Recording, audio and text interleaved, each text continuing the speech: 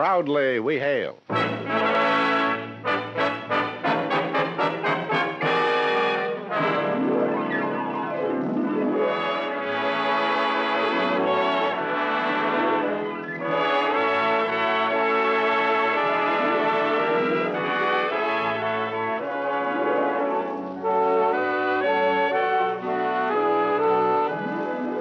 From New York City, where the American stage begins, here is another program with a cast of outstanding players.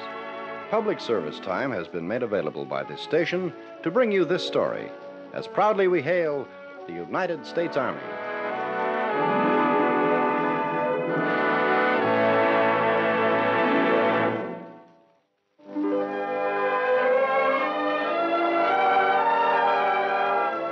Our story today is entitled Genius at Work. This is the story of an essay contest held for servicemen and how one serviceman nearly got himself into a lot of hot water. Our first act curtain will rise in just a moment, but first, Here's something that says for women only.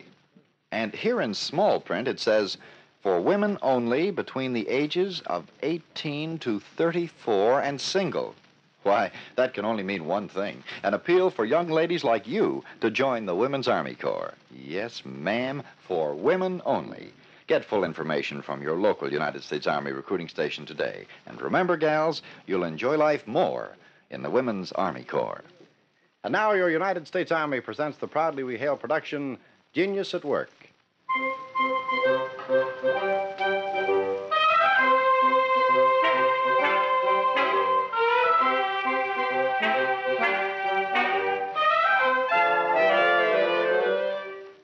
That Marvin Flugelman. Oh, that Marvin. Of all the millions of guys in this army, I have to pick him to team up with.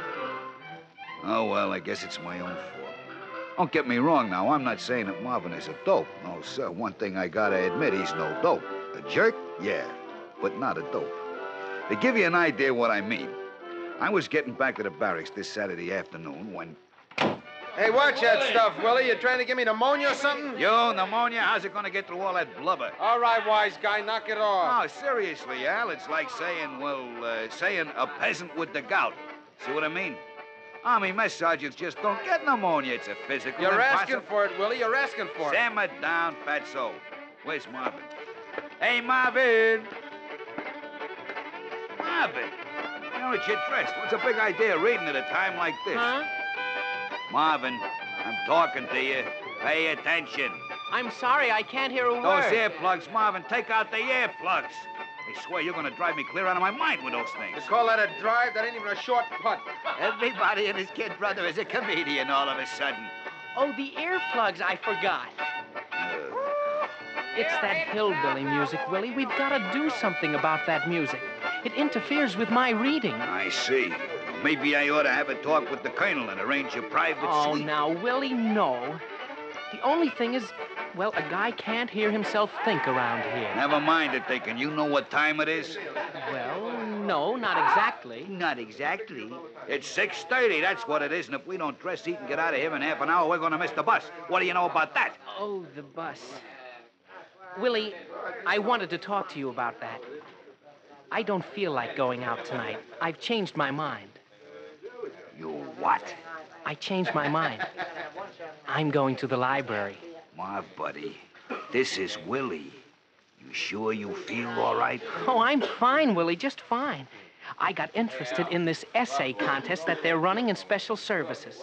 And I think maybe I'll enter it. So enter it. What's that got to do with going out tonight? Marvin, I got a couple of chicks lined up at the Blue Angel. I'm not in the mood, Willie. Honest. I want to do some reading. I will make a deal with you. What's the deal, Willie? I'll go to the library with you and help you find your book, and then we'll make the 8.30 bus, okay? I doubt it, but you can come along if you want to. You're such a stubborn guy. I don't know why I waste my time trying to wise you up.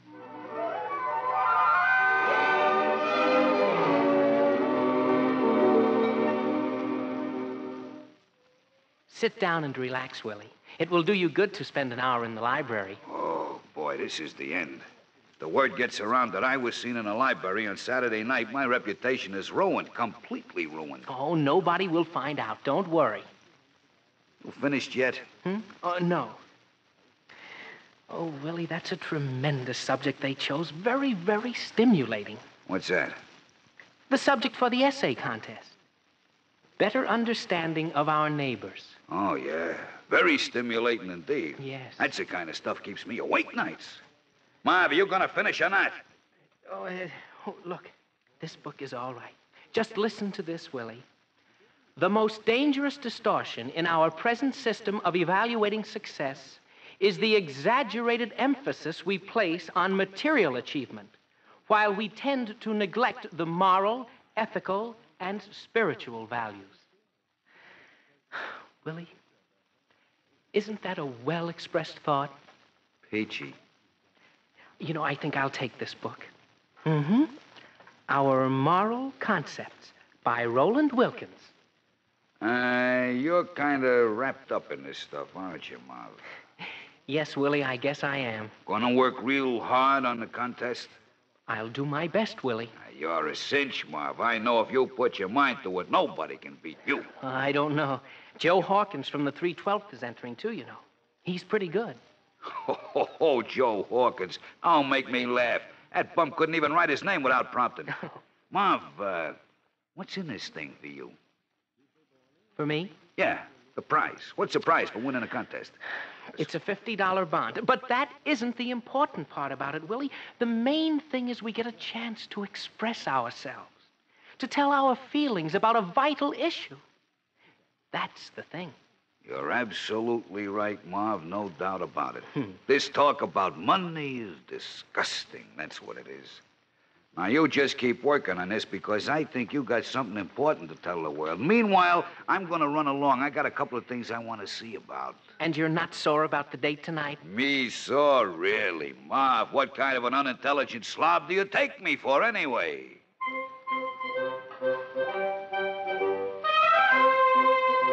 Right then and there, the idea hit me.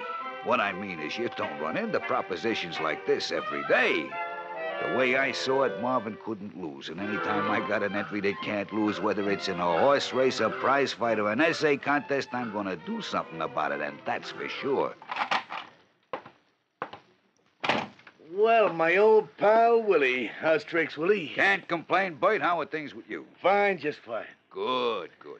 What brings you over to the 312th, Willie? You, uh, you got something on your mind? As a matter of fact, I do. You probably know that Special Services is running an essay contest. You know that? Yeah, sure, I heard about it. Okay. Now, I know that you boys in the 312th never pass up a sporting proposition. Get to the point, Willie. I thought that since you have a man entering the contest, Hawkins, is it? That's right. And we have a man, Flugelman, well, we might want to back our man in the contest. Hawkins could write a better essay than Flugelman with his eyes closed underwater. Idle and- talk won't get us anywhere, Bertram. How about a couple of little bets? Put your money where your mouth is, Willie. Put your money where your mouth is. We'll cover every nickel of it.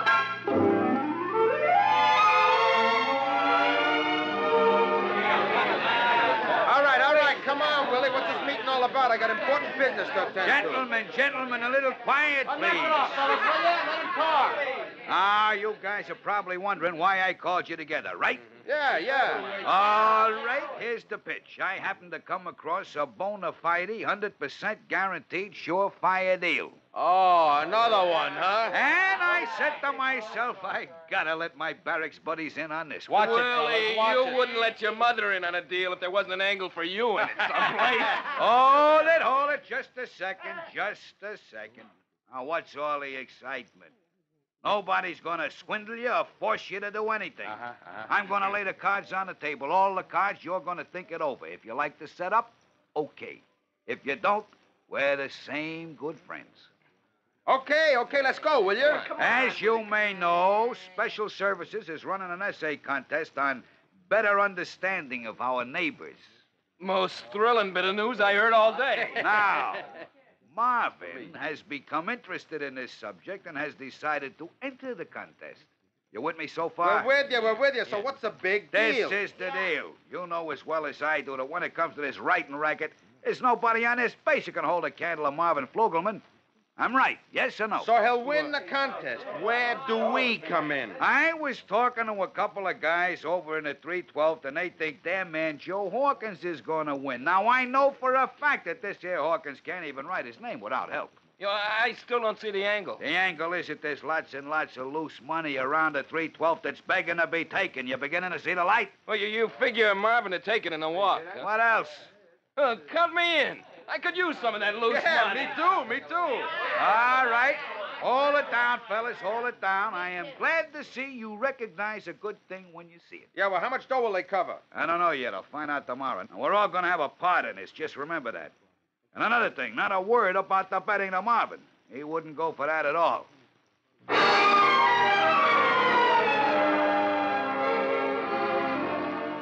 Well, we all pitched in and did our part, and the atmosphere in our barracks got so quiet and refined it began to resemble an old lady's home. Hey, what's happened to you guys? Good evening, Marvin. What happened?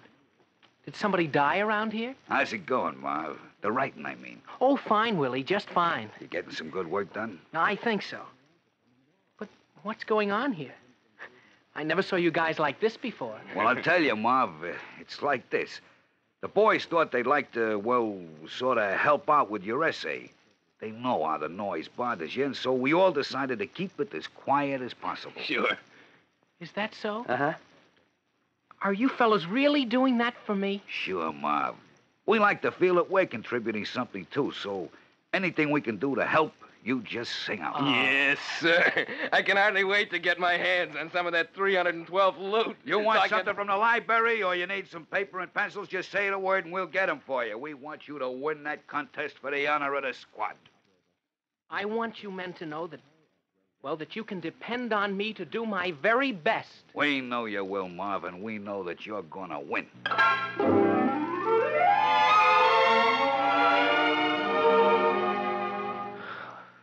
Gosh, I'm tired. What's the matter, Marv? You getting brain fatigue? I don't know what it is, Willie. All I know is I'll be glad when Saturday rolls around. I sure have been looking forward to this furlough. You've earned the rest, Marv. You just take it easy and relax for two weeks. It'll make a new man of you. Yes. I'll be kind of glad to see the folks, too. Uh, hey, Marv, uh, about the essay, uh, you got that all ready to hand in? Oh, yes, the essay. What do you mean? Oh, yes, the essay. To tell you the truth, Willie, I've had a little trouble with it. Just didn't come out the way I'd planned. I had to make some changes, eh, Marv? I know. I know it isn't easy to write a serious piece of work like that. I once knew a guy that rewrote the same Willie, story I decided not to enter the contest. Excuse me, Marv. I didn't get that. it sounded like you said that you wasn't entering the contest. That's right, Willie. That's just what I did say. You're kidding. I mean, you can't be serious. Yes, Willie. I just worked and I worked. And I realized that I wasn't ready to write on this subject just yet. That I ought to put it away and let my thoughts crystallize. Allow my point of view to mature. Marv, buddy, you can't quit now. Think of the fellas. They've been counting on you. You can't imagine how much they've been depending on you to win this thing. I know that, Willie. And I want you to tell them that I deeply appreciate the interest and confidence that they have placed in me, and that I haven't forgotten them. Yeah, I'll tell them. And, Willie, Yeah. I want them to know that their generosity of spirit and their cooperation are demonstrations of neighborliness that I will treasure the rest of my life.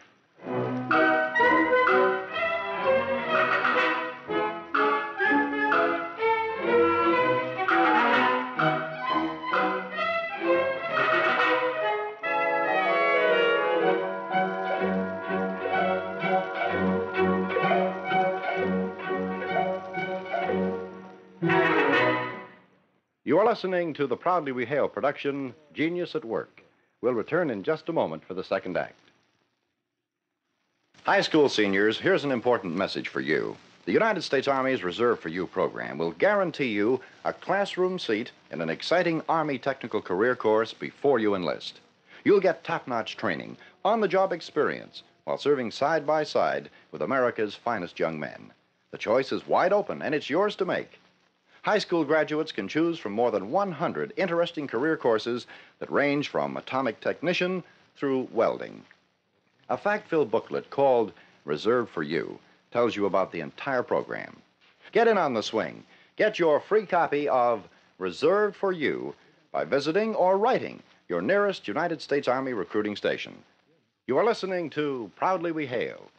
And now we present the second act of Genius at Work.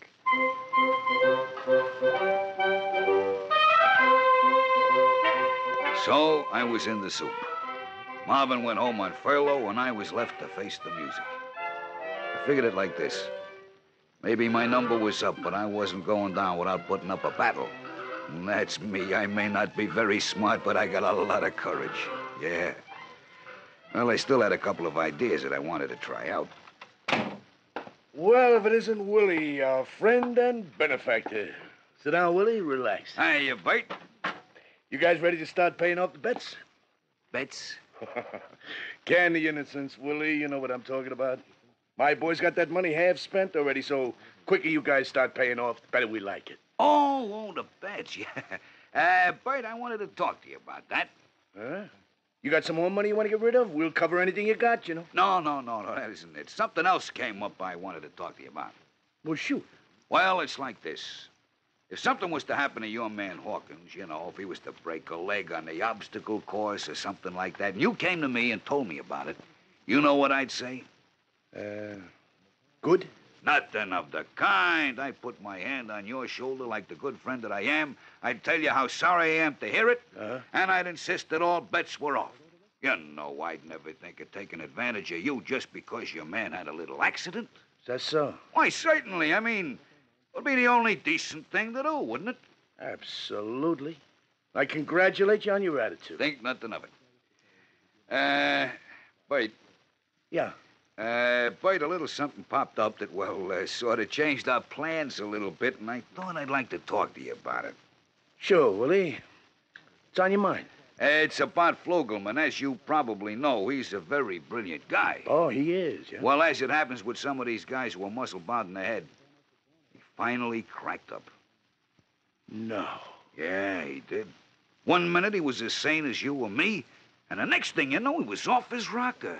Well, I can't tell you how sorry I am to hear that. I knew you'd understand. I said to myself, if there's one guy on this base who is sympathetic and understanding when it comes to an unfortunate situation like this, it's good old Bert over in the 312. Yes, sir, that's exactly what I said to myself. Oh, Willie, of course I understand. I mean, I'm a human being, too, you know.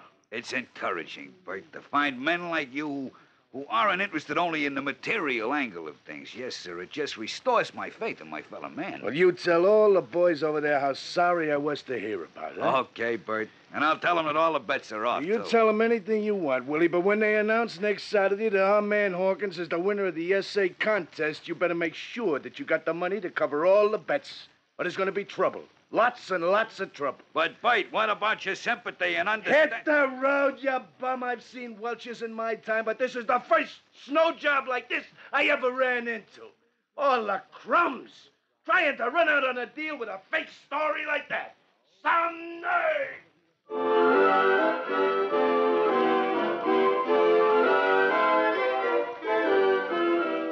Okay, so it didn't work. You can't kill a guy for trying, can you? Well, things were getting blacker by the minute, but I still had a couple of tricks left. And if anybody would have come along with a good idea for a painless suicide, I would have given it my careful consideration. Willie! Hey, here's Willie. Break out the good silver, fellas. Hey, we're having a little victory celebration. Come on, dig in. Al brought this stuff over from the snack bar. I ain't hungry. You gotta eat something, Willie. You gotta keep up your strength. Here, try some of the roast beef here, huh? Yeah, yeah, thanks. Hey, Willie, we've been figuring out how we're going to spend all that money. Believe me, Willie, it's quite a problem. hey, hey, fellas, I hear they got some more money over the 312th they want to get rid of. No. Sure, sure. Come on, let's take No, it. No, no, no. Let's just ride with what we got. There's no sense being hogs about it. Willie, my boy, if there's one thing I don't mind being a hog about, it's money. Well, I think we ought to take it easy and not get excited. Hey, it seems to me you're getting awful cautious all of a sudden, Yeah, Willie. yeah. You sure nothing went wrong? Tommy, let me assure you, nothing new has happened. You got my word on that. And that was no lie. No change at all, especially not for the better. Well, I said to myself, the time has come for desperate measures. There's only one thing left to do, and if you want to come out of this deal in one piece, you better close your eyes, hold your nose, count three, and do it. Well, sir, I did it. I waited two more days to see if anything unexpected turned up. You know, maybe a hurricane or a small epidemic, something, anything. Nothing happened. So the day before Marvin was due back from his furlough, I just took my courage in my teeth and. and. oh, what's the use? The big day, Willie. Yeah, tremendous. Hey, uh, what time do you think they'll announce the winner? Sundown. Willie, what's the matter with you? You don't look very happy. Sundown. Best time for an execution. Hey! Hey, Marvin! Hiya, Mom! Welcome home. Hey, fellas, look who's here! Hello, boys. Oh, I'm glad to be back. Hiya, Mom. How's it going, Willie? Ah, oh, fine. Good. Fine. Everything's just fine, Mom. How was the leave? You have yourself a nice time? Oh, yes, I certainly needed Good, that good. rest. I know what you mean. I need one, too. Willie, it's important for a man to get off by himself once in a while. Sort of gives you a chance to collect your thoughts if and there's to one kind of... thing I'd like to do right now, it's to go someplace by myself and collect my thoughts. Oh, you're really maturing, Willie. Getting more serious about things. I must say, I'm certainly glad to see it. I always knew you had it in you. Mom, I was worried you might not get back in time to hear the results of the contest. Oh, that. Well, I wanted to talk to you boys about I know that you wouldn't want to miss it. Let's go down to the snack bar for a My soda. friend, my friend Hank Wilson, he's a clerk in special services, told me this morning they were reading your essay with great interest. They- yes, sir. Looks like you're in, Marv. Oh, wait a sec. Willie. Willie, I want to talk Uh, to we're you. going down to the snack bar, Marv. I'll see you later. Now. But now, Willie. You guys go along. We'll see you later. Oh, okay. Come on, fellas. This is going to be a gloomy, gloomy day in the 312. All right, Willie. Let's have it. Let's have what, Marv? I don't know what you're talking about. The essay. What essay was Al talking about? Oh, that. That's nothing to get excited about. Uh, that isn't what I asked you, Willie. Where did they get that essay and who wrote it? Well, well, you did, Marv. I- You did in a manner of speaking. Me. Willie, what are you trying to pull around here? I don't know how to explain it. You see, I knew the boys would be so disappointed if we didn't enter the contest. I. Well, I just decided to send in an entry myself. Oh, That's fine, Willie. I'm proud of you. But what was that Al was talking about? Oh, Al. Yeah, Al. Yeah, yeah, yeah. Well, the fact is, uh, I didn't exactly write it myself. I took your notes and sort of put them together. That's a nifty notebook you keep there, Marv. Everything's so clear and easy. Willie, that's plagiarism. Now, listen, Marv, maybe I was a little off the beam. That doesn't mean you can say things like that about me. No, sir, I don't have to take insults like that.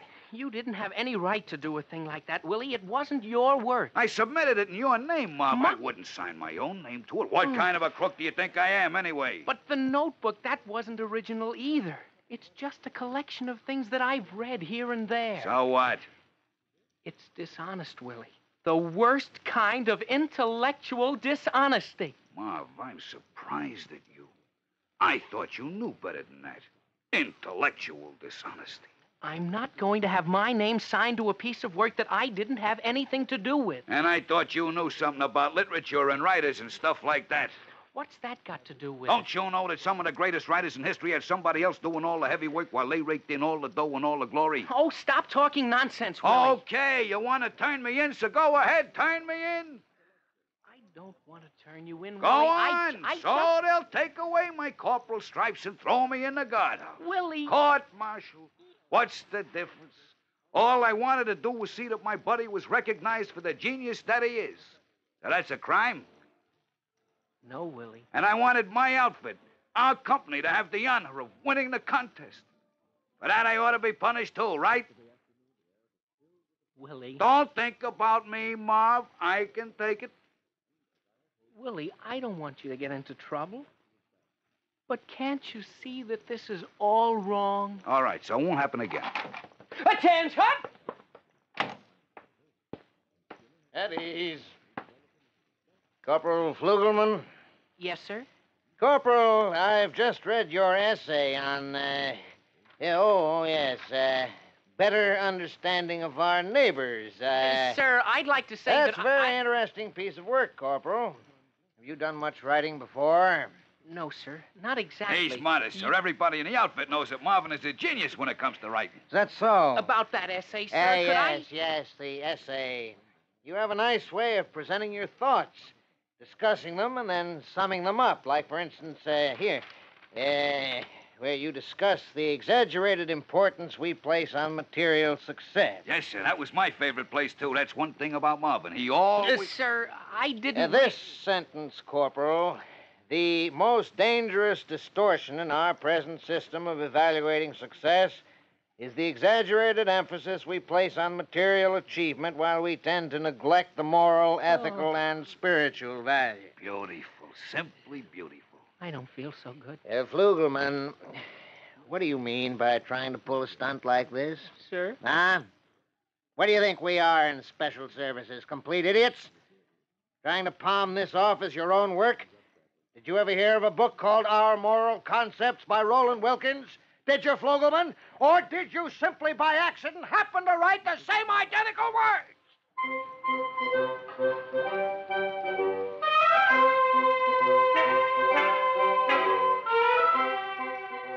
Go on. Figure that the captain is a square like Marvin who spends his Saturday nights in the library. Who could figure it? I suppose I could have let Marvin take the rap, but what's the use? I'm not built that way. So that's how it happened. I'll probably be on KP the rest of my enlistment. But it could have been worse. What I mean is, all the bets with the 312th were called off. Can you imagine? That bum Hawkins, even with Marvin disqualified, he couldn't win the contest. First prize went to a WAC over in headquarters.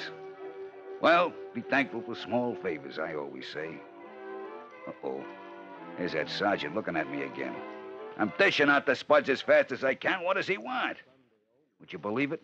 973 guys have come through this chow line so far. Not one of them has refused the mashed potatoes. Not a single one. People ought to pay more attention to their diet. That's all I gotta say. All right, Sarge, take it easy. I only got two hands, you know. I'm no octopus. The people that get to make sergeant in this army.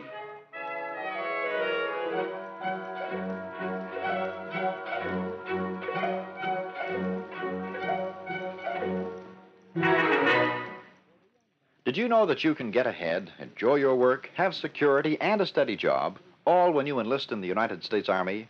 Why, you'll get your first promotion when you've been in only a few months. There's a wide variety of jobs available, but most important, you'll be helping to preserve the national security of our country. Why don't you check at your local recruiting office and let them tell you how you can make the most of your life in the United States Army?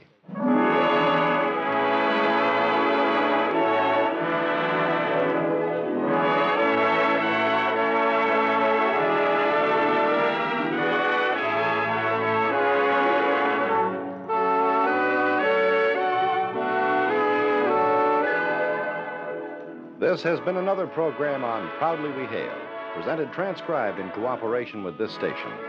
Proudly We Hail is produced by the Recruiting Publicity Center in New York for the United States Army, and this is Mark Hamilton speaking, inviting you to tune in this same station next week for another interesting story on Proudly We Hail.